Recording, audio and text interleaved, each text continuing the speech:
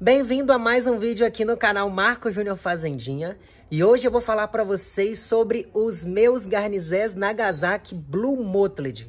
Eles são lindos, tenho certeza que vocês vão gostar. E se não me conhecem, eu sou Marco Júnior, moro em Vila Velha, Espírito Santo.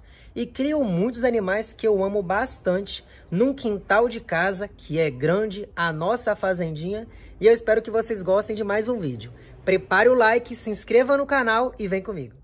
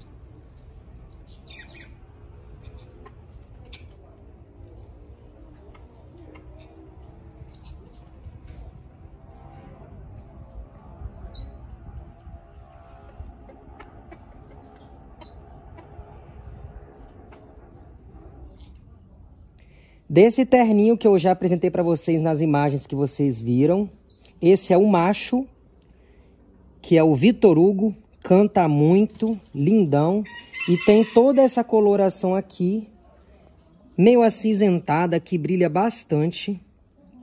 Tá bem sujinho porque as pontas das asas encostam no chão. Ele tem uma beleza muito singular mesmo, uma cauda muito bonita, Quero que vocês percebam todos os detalhes de coloração dele. Ele é muito manso, não tenho problema em pegá-lo, em manter ele por aqui. Lógico que ele vai querer ir para o chão, mas é um galo de um porte bem legal e ele é muito naniquinho. Muito naniquinho mesmo. Ao andar a gente nem vê os pezinhos. Mas é isso aqui que vocês podem acompanhar assim na imagem. Lindão. Na mesma coloração do Vitor Hugo, que eu acabei de mostrar para vocês, temos a Chanel. Ela tem muito mais pintinhas, que é assim que eu chamo o mottled dela, não é? Da mesma tonalidade de cor do Vitor Hugo. Ela é bem mais escurinha. Tem um padrão bem legalzinho também e muito naniquinha também. Para fazer terno com eles, aqui nós temos três nanicos. E já voou. Agora, essa segunda fêmea é a Carolina Herrera. Diferente do Vitor Hugo e da Chanel, ela é mais clara, como vocês podem observar. Estou abrindo as asinhas aqui para vocês poderem ver o motlet dela, todas essas pintinhas. Ela é mais clarinha e acreditem, ela ainda é mais naniquinha do que a outra fêmea que eu acabei de mostrar, que é a Chanel. Tá toda querendo sair daqui, mas vai ficar comigo ainda. Foi. O meu trabalho com esses três aqui na Fazendinha, o Vitor Hugo, Carolina Herrera, Chanel, três nomes de grife, é fazer com que eles se multipliquem bastante que os pentinhos daqui venham na linhagem lavanda, que é tão esperada aqui neles.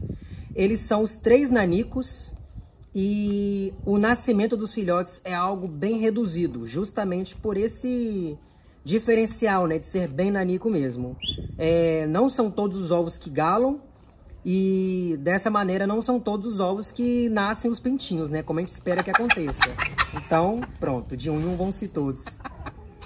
Quem ficou por último foi a Chanel, que já foi. E vocês já viram pintinhos aqui em outros vídeos. Quem não conhece minha criação de garnizé ainda tem um vídeo somente sobre eles. E são os pretinhos, são os Columbia BTW e são os Blue Mottleds. Quero focar nessa criação dessas cores para termos aí umas linhagens bem legais, que é o que eu gosto, e nada melhor do que criar aquilo que a gente gosta, né? Me sinto muito feliz e completo por isso.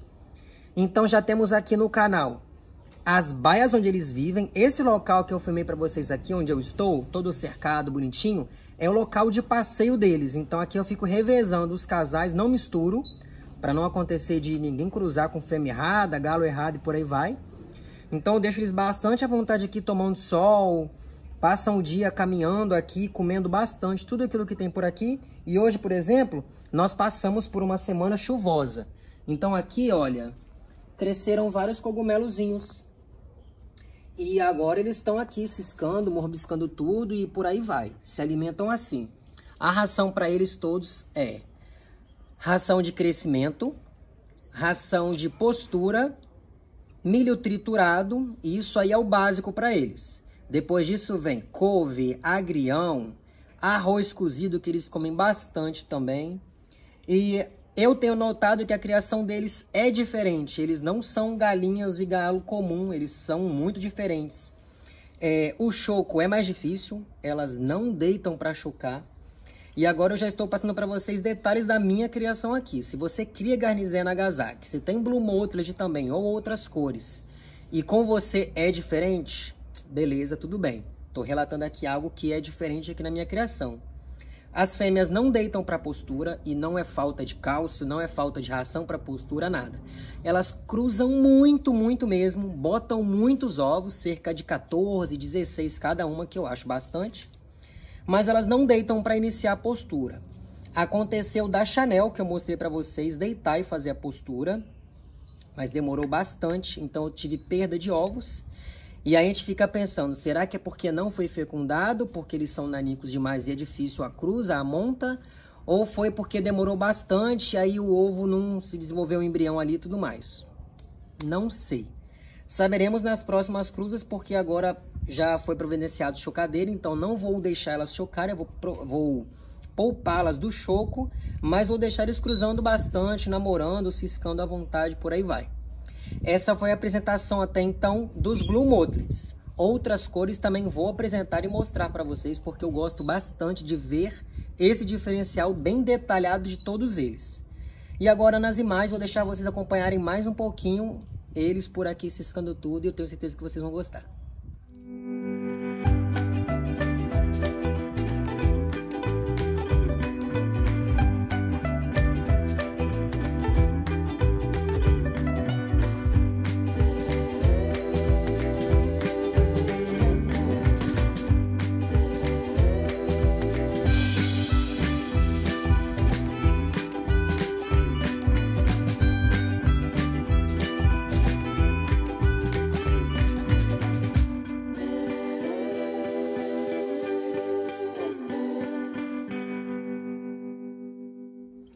Esse é o momento do vídeo em que eu espero a sua interação comigo para dizer o que, que você achou de tudo isso.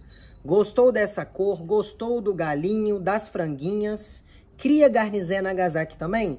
Deixa o seu comentário aqui embaixo no vídeo que eu vou ler, vou te responder. E quero saber também o que você gosta de assistir aqui no canal Marco Júnior Fazendinha. Quais são os próximos vídeos que eu posso produzir, elaborar para todos vocês, para deixar todo mundo contente. E assim o canal cresce e eu peço a todos vocês que façam isso ajude o canal a crescer. Se inscreva aqui, porque vocês vão ver muitos vídeos legais, muita natureza. Me proponho a mostrar para vocês coisas felizes sempre. Deixa sempre o like no vídeo, que é para o YouTube saber que isso é relevante para você. Que você gosta de assistir esse conteúdo, que você gosta de franguinhos, de criação de roça, do que for. Curte o vídeo, ajuda bastante a esse canal a crescer, se desenvolver aqui com muito conteúdo. E compartilhe para os seus amigos todos vocês que me assistem, se você compartilhar esse vídeo para um amigo, já está ajudando bastante. Nós vamos nos ver no próximo vídeo. Fiquem todos bem. Tchau, tchau.